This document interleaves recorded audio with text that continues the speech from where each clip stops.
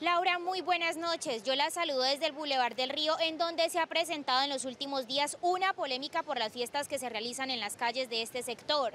El alcalde de Cali anunció que habrá una reglamentación en este tipo de espacios. Un código de vestuario y la uniformidad en las sillas y mesas del lugar son algunas de las medidas que más han llamado la atención de los ciudadanos.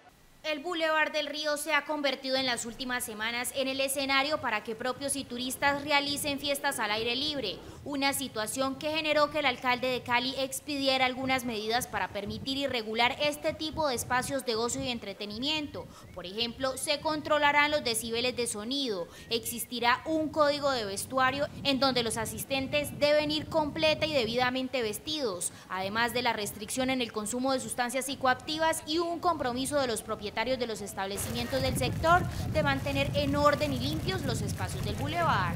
Yo pienso y creo que es para concertarlo que el bulevar en su actividad debe estar hasta las 12 de la noche. Yo pienso que no puedo permitir que en el bulevar cada propietario de establecimiento me saque la silla rimas o me saque la silla de madera o el otro me saque la silla de acero inoxidable. Ahí debe haber una uniformidad.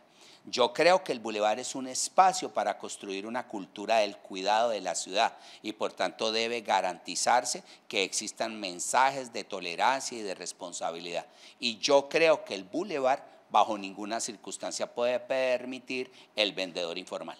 Aunque el permitir y regular este tipo de fiestas callejeras ha generado polémica en algunas personas y sectores, todas estas medidas quedarán establecidas a través de un decreto en el cual ya se está trabajando. Nosotros nos oponemos radicalmente a aquellos que consideran que el espacio público es para tenerlo cerrado.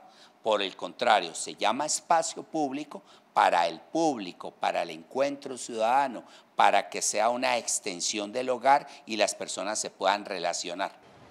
En Noti5 hablamos con los ciudadanos para preguntarles qué piensan sobre estas fiestas que se realizan aquí en las calles del Boulevard del Río. Esto nos dijeron.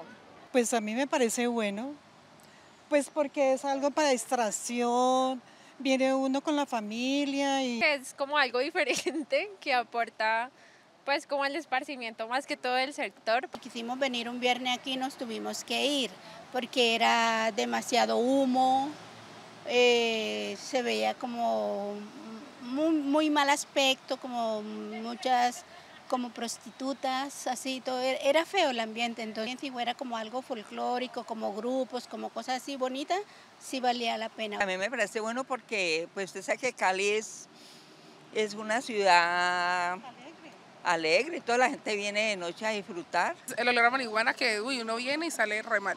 Y genial porque ay, pues uno sale a trabajar y viene con los compañeros a distraerse un ratito. He podido estar aquí y presenciarlo y la forma en la que la gente se divierte, se une, es, me parece que es algo muy chévere. Claro está que si todo se hace dentro del marco del respeto. Se espera que con estas regulaciones se puedan seguir realizando estas fiestas al aire libre, pero de manera segura y tranquila. Informó María José Lozano para Noticinco, el noticiero de más trayectoria en el país.